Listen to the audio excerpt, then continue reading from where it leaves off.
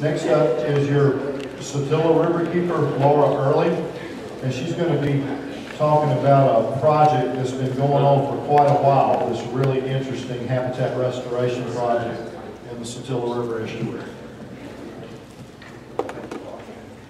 Thanks. Um, yeah, like Gordon said, uh, my name is Laura Early. I'm the Satilla River Keeper. Um, I also have Dr. Clay Montague up on the slide here, um, and he is our resident and expert on, or resident expert on this project. Uh, so if you guys are interested to have any uh, more technical questions about it, he's the guy to get in touch with.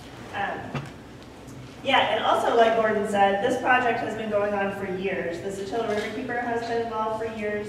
Um, other folks have been involved for decades on trying to correct this um, issue. So let's get into it. Um, so what I'm going to talk about today, uh, basically the impact of this obsolete navigation cut, uh, collaboration, which is a theme today, uh, to close the cut, and then um, seeing that project through to completion, which hopefully we're on our way to doing very soon. Um, the link at the bottom of this slide is directs you to the report, the final integrated feasibility study report um, prepared by the Army Corps of Engineers, and a lot of the information in this presentation comes from that report. Uh, so again, that's another place to go for more information. So who else is involved? Satilla Riverkeeper, obviously, that's us. Um, and you can see our watershed highlighted there. Uh, further down here, oops, that's not the right thing. I think everyone that's been up here has done that same thing. Oh, yeah, sensitive. That, uh, this little dot down here, the Dover Bluff Hunting and Fishing Club, is also a key partner in this uh, project. They are, uh, they have been the squeaky wheel, if you will.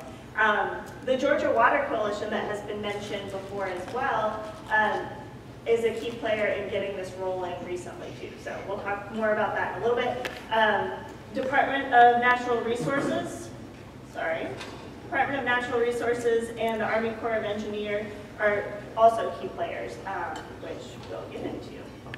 Okay, so uh, to orient you to where we're talking about, we're in Camden County right now in the estuary of the Satilla River.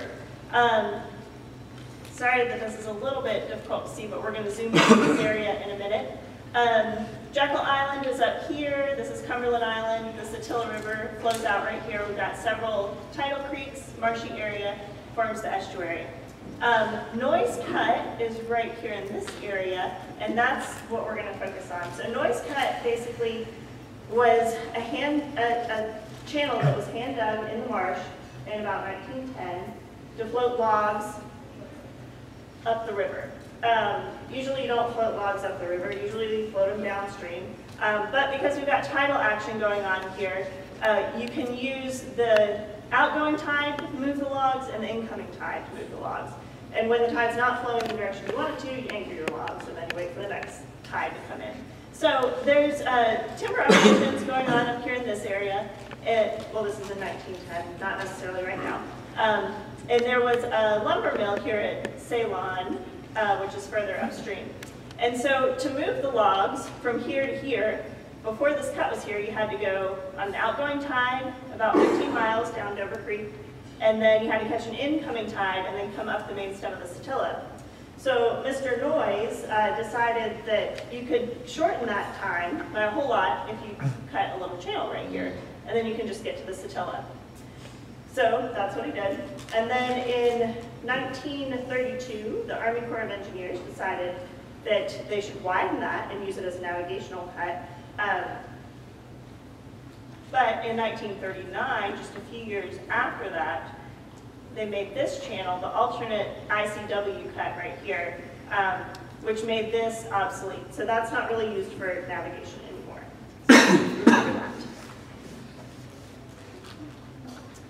Okay, so here, now we're zoomed into this area. Um, we've got Umbrella Creek, which is up here, one system. You've got Dover Creek right here that comes in, another system. You've got Noyes Cut right here. Um, normal tide flow, when the tide comes in, it's coming in from the ocean, and when it's going out, it's going back this way. But because you have this artificial cut, Noyes cut here, you have an intense amount of water coming in and out right here from the main stem of the Satilla. So what kind of problems that caused? Well, one of the problems it's caused is creating shallows. Um, so I didn't mention this earlier, but when this channel was dug, it was, I want to say it was 40 feet across and maybe five feet deep at low tide.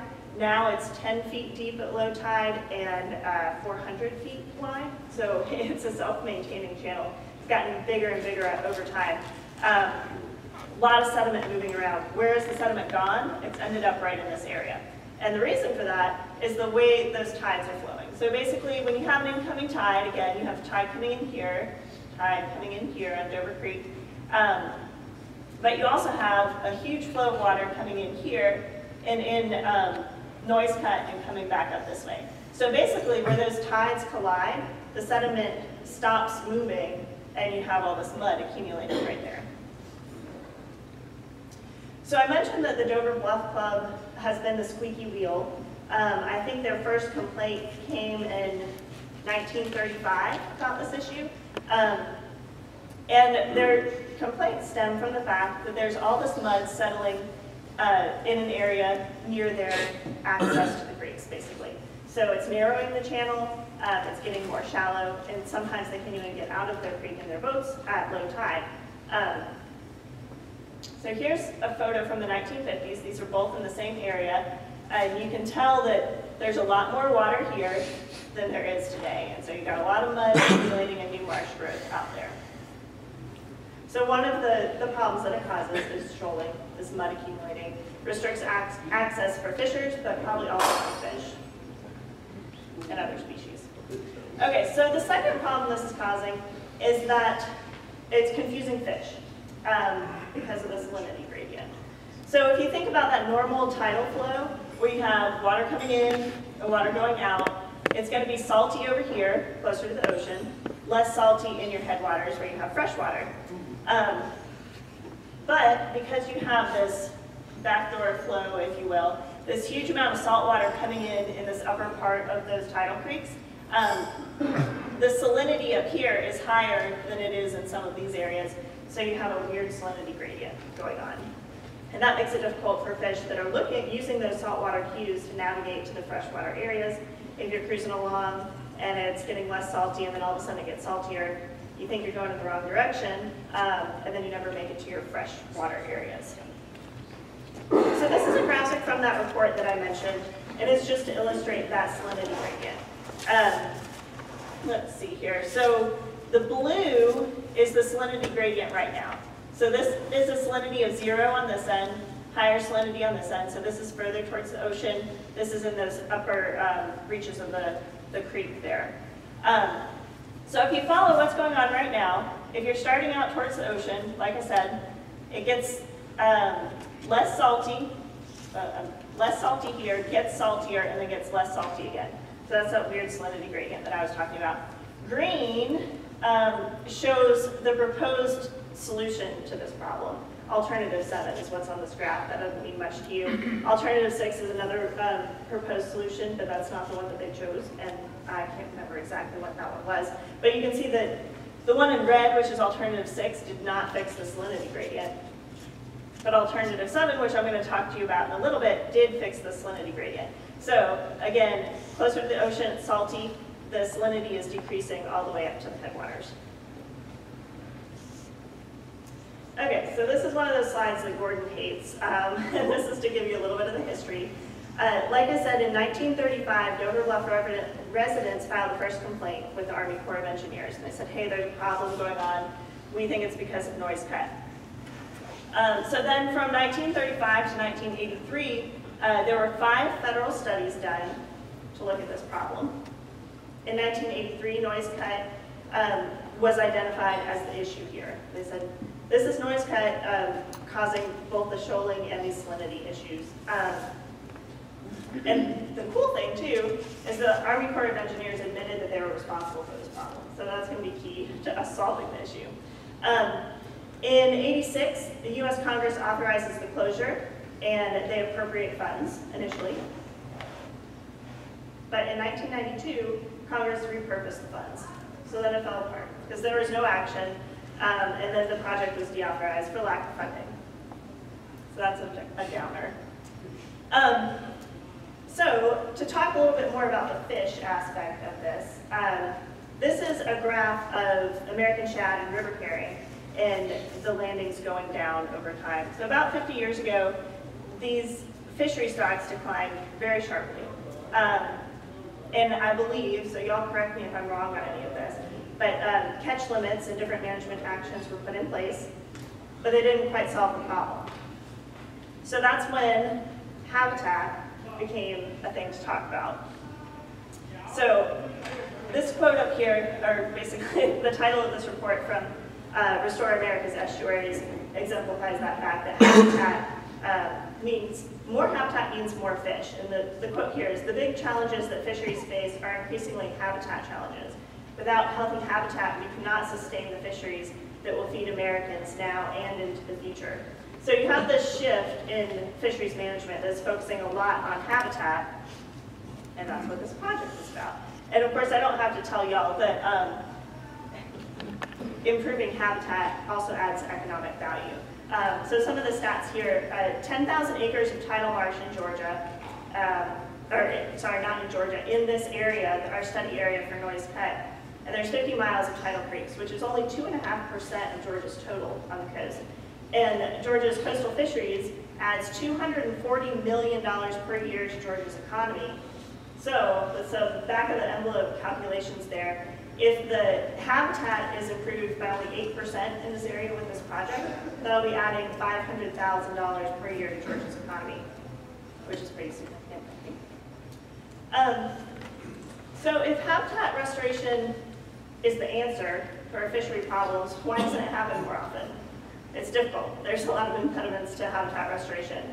Um, one is local community acceptability. It's not always that everyone or in your surrounding area is on board with whatever your habitat restoration solution is going to be. Um, sometimes there's really expensive and dangerous infrastructure removal, so think about dams, taking out dams. Um, and it, sometimes it's hard to identify the responsible party. But in this case, all three of those things are in line. So the local community, mainly the Dover Bluff Hunting and Fishing Club, is on board, and they're the ones who have been pushing for this restoration for a long time. Um, it's not going to require any infrastructure removal. Uh, they're actually going to put in some infrastructure to close off these cuts. And, and the responsible party is the Army Corps of Engineers, and turns out they're also the folks that can fix the problem, which is fantastic. Um, so if you remember though, the funding was taken away and the project was deauthorized. So in order to get it reauthorized, we had to get um, a call, someone locally had to request that the Army Corps of Engineers worked on this again. And then we also had to have non-federal funding to match what the feds could put in to address this issue.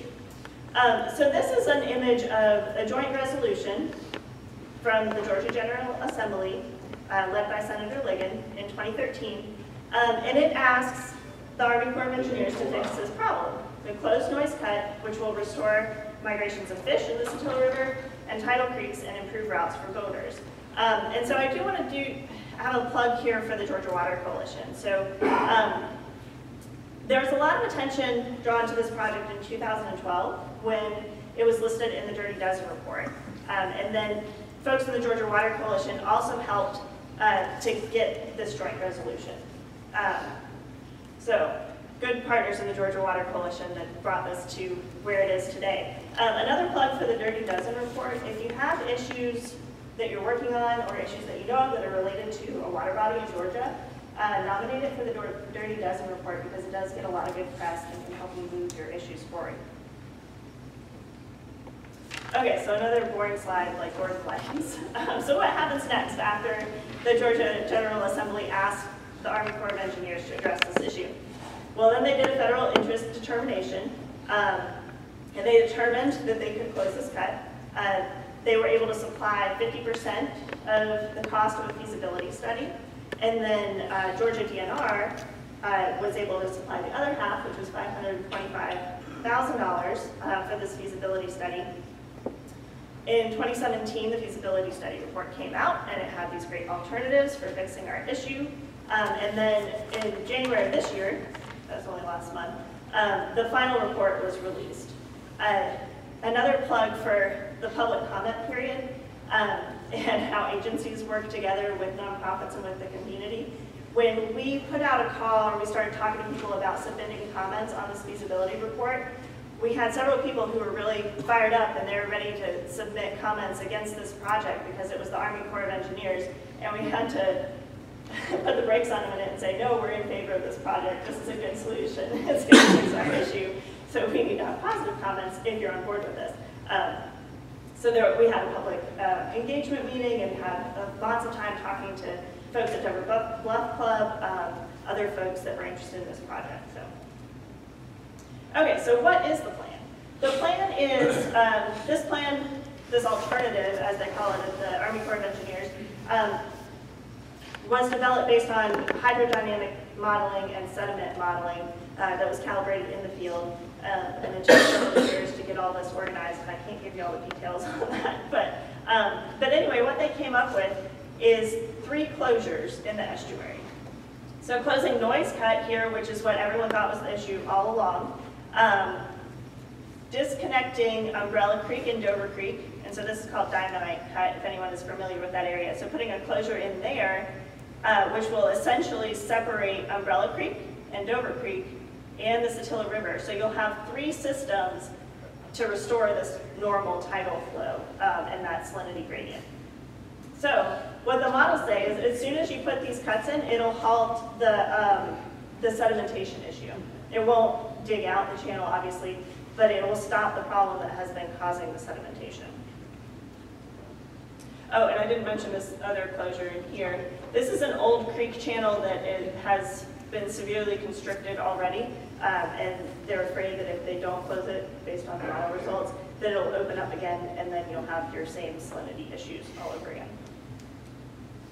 Okay, so you guys can see this, but this is a table from that report that I mentioned, um, and it's all the species in that area that will be, uh, that they expect to be affected by this closure. Um, and habitat is expected to benefit on all the species except for sturgeon, um, and that's because sturgeon uses a different kind of habitat. so where are we now? We need matching funds. So I said that the, the feds can put up money, but then we also need non-federal um, matching funds to get us through this design and construction phase as well. Um, and that is $1.9 million approximately. So how you guys can help, if anyone has $1.9 million around towards this project, that would be fantastic. Um, but otherwise, if you are interested in this project or if you know of any groups or funding sources that are interested in this project, definitely let me know. I'd, I'd love to talk to you about that. So another cool thing that I want to mention about this, and I believe this is my last slide, um, is that this problem caused by these navigational cuts is not unique to the Satilla River estuary. It's something that is happening up and down the Atlantic seaboard. Um, and if this is a useful solution, we can restore a lot of habitat here in this 10,000 acres, um, then it's a model that can be used in other places too. So we're excited about that possibility as well. And with that, um, I don't know if I have any time for questions, but.